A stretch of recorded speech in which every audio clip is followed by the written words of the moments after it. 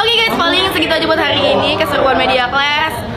Geng kita banyak yang kalah. Kalah lah masa menang. Ke- kekalahan adalah kemenangan yang tertunda.